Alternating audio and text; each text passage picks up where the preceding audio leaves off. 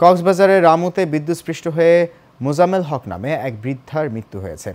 সকালে উপজেলার ঈদগড় ইউনিয়নের শরীফপাড়া গ্রামে দুর্ঘটনা ঘটে।